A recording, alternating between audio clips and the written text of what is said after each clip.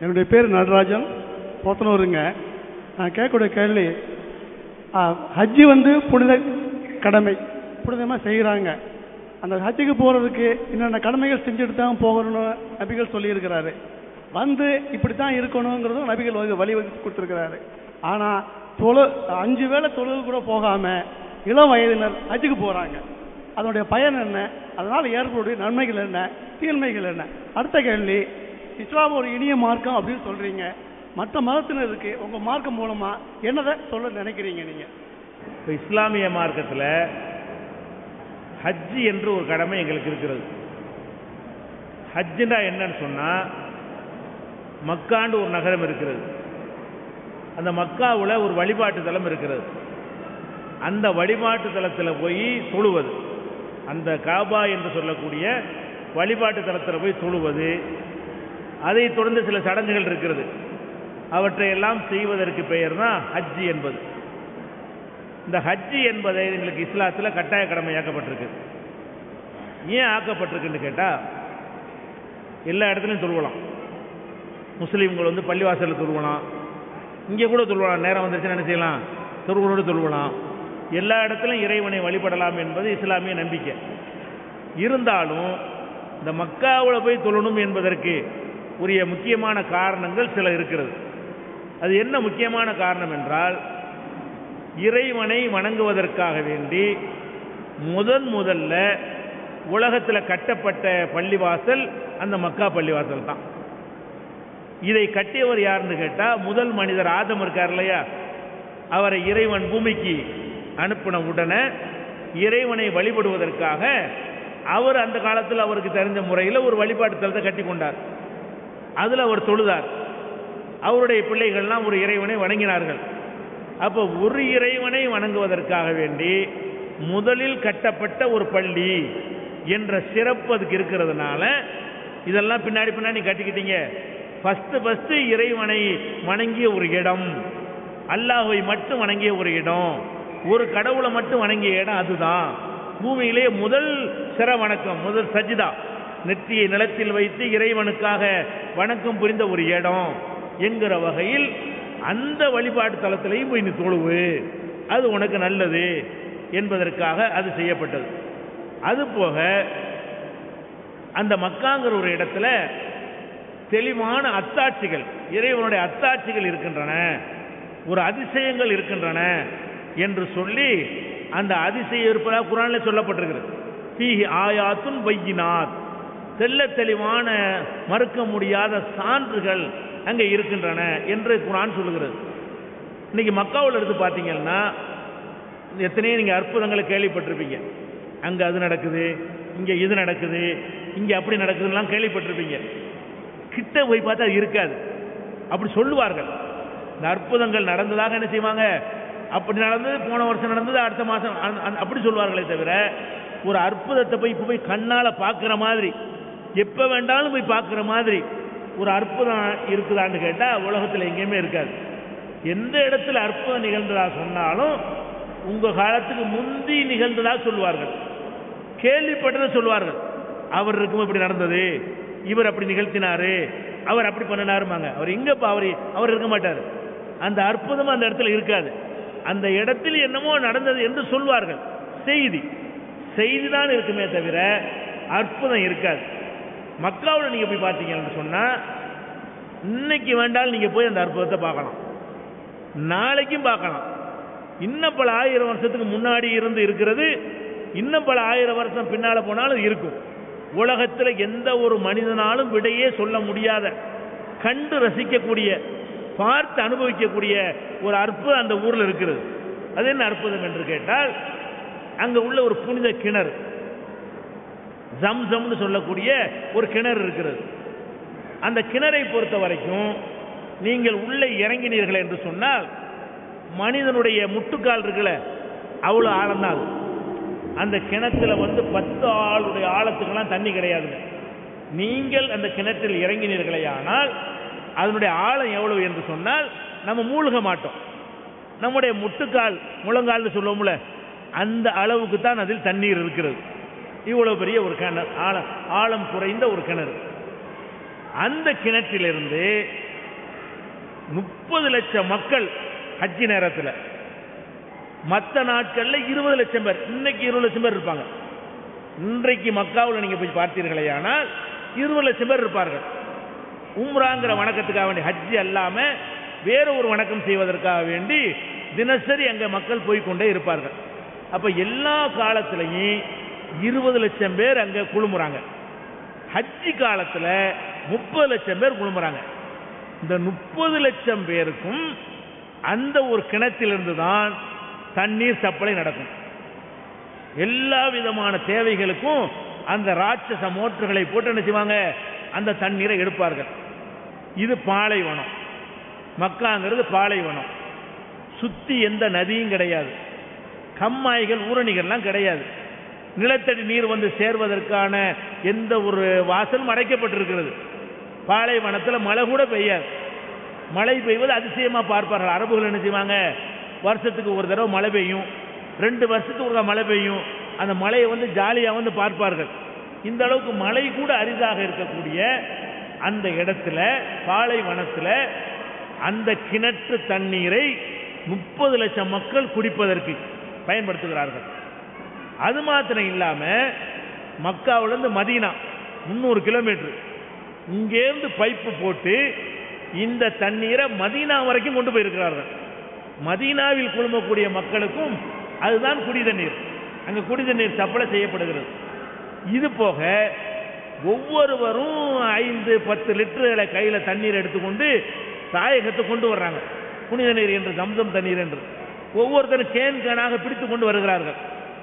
ஒரு நீரூற்று ஆழம் குறைந்த நீரூற்று அக்கம் பக்கத்தில் எந்த விதமான நிலத்தடி நீருக்கும் வாய்ப்பு இல்லாத கண்மாய்கள் ஊரணிகள் ஆறுகள் இல்லாத ஒரு பகுதியில் மழை பெய்யாத மரஞ்செடி கொடிகளே இல்லாத பாலைவனத்தில் இருக்கக்கூடிய ஒரு நீரூற்று முப்பது லட்சம் பேருக்கு சப்ளை செய்கிறது.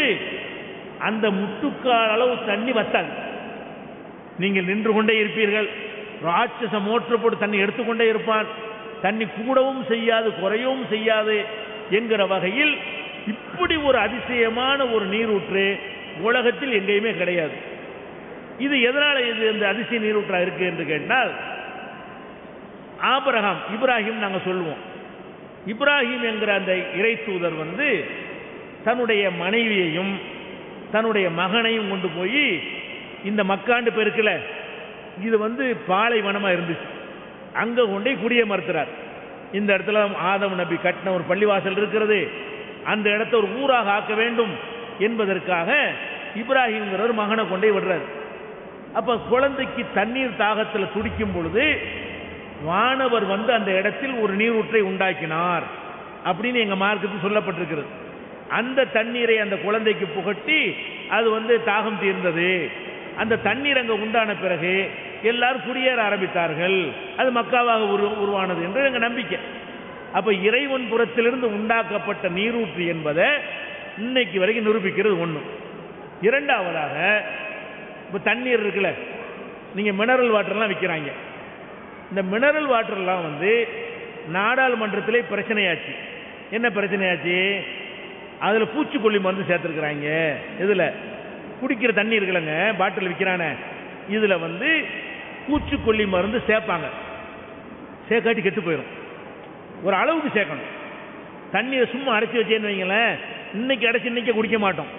கடையில் போடுவாங்க. பதினஞ்சு நாள் இருபது நாள் வச்சு விற்பான் அந்த பதினஞ்சு நாளைக்கு அடைஞ்சு கிடந்தால் என்னவாயிரும் அதில் கிருமிகள் உண்டாயிரும். பூச்சிகள் உண்டாயிரும். உண்டான வியாபாரிக்கு லாபம் வியாபாரிக்கு நஷ்டமாக போயிடும் அதுக்காக என்ன பண்ணுறாங்கன்னு கேட்டால் அரசாங்கத்தில் ஒரு அனுமதி கொடுத்து எல்லா மினரல் வாட்டர்லையும் கொக்கோ கோலா போன்ற குளிர்பானங்கள்லையும் பூச்சி மருந்து சேர்க்குறாங்க. எதுக்காக வேண்டி? அது கெட்டு போகாமல் இருக்கிறதுக்காக வேண்டி. இது உலகத்தில் அனுமதிக்கப்பட்ட அளவை விட இந்தியாவில் ஜாஸ்தியாக சேர்க்குறாங்க அப்படின்னு பார்லிமெண்ட்ல ஒரு ப- பஞ்சாயத்தை வந்துச்சு. எதுக்கு சொல்றேன்னு கேட்டா இந்த தண்ணி வந்து கெட்டு போகக்கூடிய தன்மை கொண்டது. எந்த தண்ணியா இருந்தாலும் சரி. அதுல அந்த மருந்துகளை போட்டு பூச்சிக்கொல்லி மருந்தை போடுற காரணத்தினால தான் பத்து நாள் பதினஞ்சு நாளைக்கு புழுப்பூச்சி வராமல் இருக்கிறது. இந்த ஜம்சம் தண்ணி இருக்குல்ல அந்த தண்ணீரை எடுத்துட்டு வர்றாங்க எங்க மக்கள். வந்து என்ன செய்வாங்கன்னா இறந்த உடனே தங்கள் தங்களை குளிப்பாட்டும் பொழுது அந்த தண்ணீரை ஊற்றி குளிப்பாட்டணும் என்பதற்காக வேண்டி ஒரு பாட்டில் ரெண்டு பாட்டில் எடுத்து வச்சிருப்பாங்க. அது எங்கள் மார்க்க சட்டம் இல்லை. எடுத்து வச்சிருப்பாங்க. இருபது வருஷத்தில் அச்சுக்கு போனார்னு வைங்க. ஒரு ஐம்பத்தஞ்சு அறுபது செத்தார்னு வைங்க. நாற்பது வருஷ காலம். நாற்பது வருஷ காலம் அந்த தண்ணி அந்த அந்த பாட்டில் இருந்தாலும் அதில் பூச்சி வராது. பூச்சிக்கொல்லி மருந்து சேர்க்கலை கிருமி நாசினி சேர்க்கலை. நாற்பது வருஷம் ஐம்பது வருஷம் அந்த தண்ணீரை வீட்டில் வச்சுருப்பாங்க. அதில் நீங்களும் பார்க்கலாம்.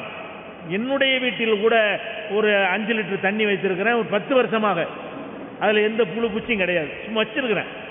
அப்போ எந்த கிருமிகள் மருந்து போட்டு தான் தண்ணீரை காப்பாற்ற வேண்டிய ஒரு நிலையில் இயற்கையாகவே கிருமிகள் வராமல் அந்த ஒரு கிருமி நாசினியோடு அந்த தண்ணீர் இயற்கையாகவே சுரக்கிறது. அது ஒரு அதிசயமாக இருக்கிறது. அது போக இந்த தண்ணீரை பலவிதமான சோதனைக்கு உட்படுத்தினாங்க. இந்த தண்ணீர் வந்து அதிகமான மினரல்லாம் சேர்ந்து உணவுக்கு உணவாக இருக்கும். இந்த தண்ணீரை மட்டும் குடிச்சிக்கிட்டு சோறு திங்காமல் வாழலாம். அதுக்குரிய சக்திகள் எல்லாம் அதில் கிடைக்கிறது என்றெல்லாம் ஐரோப்பாவில் சோதனைக்கு அனுப்பி ரிப்போர்ட் கொடுத்துருக்குறாங்க. அப்போ இவ்வளோ பெரிய அதிசயமான ஒரு விஷயங்கள் எல்லாம் அதில் அடங்கி இருக்கிறது என்று சொல்லி அதை போய் நீ பார்த்துட்டு வா. ஒரு இறைவனை வணங்குவதற்காக எழுப்பப்பட்ட ஒரு ஆலயம். என்னுடைய அற்புதத்தை அங்கே காட்டியிருக்கிறேன். மற்ற அற்புதம் மாதிரி கேள்விப்படுற அற்புதம் இல்லை. நீனே ரசித்து அனுபவிக்கிற அற்புதம். நீனே பயன்படுத்துகிற அற்புதம். பார்த்துட்டு வா என்று சொல்லி ஹஜ்ஜிங்கிற கடமை ஆக்கப்பட்டிருக்கு. இது போக உலக அளவில் முக்கியமான பிரச்சனை என்னன்னு கேட்டால் மனித குலத்துக்கு மத்தியில் உள்ள வேறுபாடு தான் ஒருத்தன் ஒரு நாட்டை சேர்ந்தவனாக இருந்தால் இந்த நாட்டுக்கு சேர்ந்தவன் என்பதால் நான் உசந்தவன் நினைக்கிறான். இந்தியாக்காரன் வந்து இந்தியாக்காரன் உசந்தன் நினைக்கிறான். தமிழ்நாட்டுக்காரன் தமிழ்நாட்டுக்காரன் உசந்தன் நினைக்கிறான். அமெரிக்காக்காரன் நான் தான் வசந்தவங்கிறான் ஆப்பிரிக்காக்காரன் நான் தான் வசந்தவங்கிறான் ஆனால் எல்லாரும் சமமானவர்கள் தான். இந்த சமமானவர்கள் என்பதை அங்கே மட்டும் நீங்கள் பார்க்க முடியும். மக்காவுக்கு போனீர்களே ஆனால் அவ்வளவு நாட்டுக்காரன் வருவான். வெள்ளை வெள்ளேர்ந்து தக்காளி பழமா இருக்கக்கூடிய ஐரோப்பாக்காரன் பின்னாடி வருவான். அடுப்பு கறியை விட கருப்பா இருக்கக்கூடிய ஆப்பிரிக்காக்காரன் முன்னாடி வருவான். ஆப்பிரிக்கக்காரனுடைய தலை ஐரோப்பாக்காரனுடைய ஆப்பிரிக்காக்காரனுடைய காலு ஐரோப்பா வெள்ளக்காரன் அவன் தலையில உரசும். வணக்கம் செய்யும் போது சஜிதாங்கிற அந்த நெத்தியை நிலத்தில் வைக்கும் பொழுது அவன் கால் இவன் தலையில படும். நேற்று வரைக்கும் எப்படி இருந்தான் அந்த நாட்டில்? வெள்ளைக்காரனுக்கு தனி பஸ்ஸு கற்பனுக்கு தனி பஸ்ஸு வெள்ளைக்காரனுக்கு தனி பள்ளிக்கூடம் கற்பனுக்கு தனி பள்ளிக்கூடம் என்று இருந்தார்களே அவ்வளவு ஒழிக்கப்பட்டு இந்தியாக்காரனுக்கு பின்னாடி அமெரிக்காக்காரன் அமெரிக்காரன் இந்தியாக்காரன் பாகிஸ்தான்காரன் எல்லாம் கலந்து ஒரே மாதிரியான ட்ரெஸ்ஸு எந்த நாடு வேறுபாடு இல்லை மொழி வேறுபாடு இல்லை நிற வேறுபாடு இல்லை குல வேறுபாடு இல்லை எல்லாரும் சமம். என்று காட்டக்கூடிய உலக சமத்துவம் உலக சகோதரத்துவத்தை அறிந்து கொள்வதற்கு போ. இதுதான் மக்க ஹஜ்ஜுடைய தத்துவம். அது யாருக்கு கடமை என்று சொன்னால் பிச்சை வாங்கிட்டுலாம் போகக்கூடாது. கடன் வாங்கிட்டு போகக்கூடாது. பொண்டாட்டியை காப்பாற்ற வக்கீலாட்டி போகக்கூடாது. எல்லா செலவும் போக எல்லா தேவையும் போக அங்கே போயிட்டு வர்றதுக்கு உனக்கு மிச்சம் இருந்தால் யாரு கடமை? அனைத்து முஸ்லீம் ஹஜ்ஜிக்கு போயிருக்க மாட்டாங்க. எங்கள் மார்க்கத்தில் அப்படி கடமை கிடையாது. பிச்சை வாங்கிட்டு போகிறது கடன் வாங்கிட்டு போகிறலாம் கிடையாது. யாருக்கு இந்த பாக்கியத்தை பார்ப்பதற்கு கடவுள் அருள் செஞ்சிருக்கிறாரோ பணம் காசு கொடுத்துருக்கிறாரோ அது மாதிரி ஆரோக்கியத்தை பணம் இருக்குது. ஆள் பிரயாணம் பண்ண முடியாது. அவர் கடமை கிடையாது. பிரயாணம் பண்ணுற அளவுக்கு உடல்நிலை தாங்காது.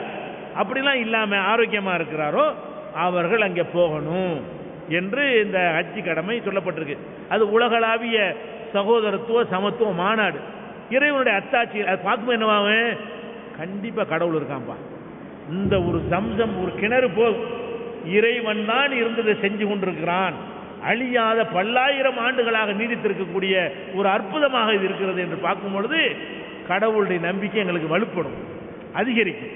இறைவன் இருக்கிறான் என்ற உறுதிப்பாடு வரும் பொழுது போயிட்டு வந்து கொஞ்சம் நல்லவங்களா இருப்பாங்க இன்னும் கொஞ்சம் நல்ல ஆளாக மாறுவோம். அதுக்காக வேண்டி அந்த ஹஜ்ஜி கடமை ஆற்றப்பட்டிருக்கிறது. உலகத்தில் உள்ள எல்லா கடன் இருந்தால் போகக்கூடாது. கடன் அடைச்சிட்டு தான் போகணும். இப்போ நல்ல தேவைகள்லாம் புரிஞ்சிட்டு தான் போகணும். சக்தி இருந்தால் தான் போகணும். அப்படிங்கிற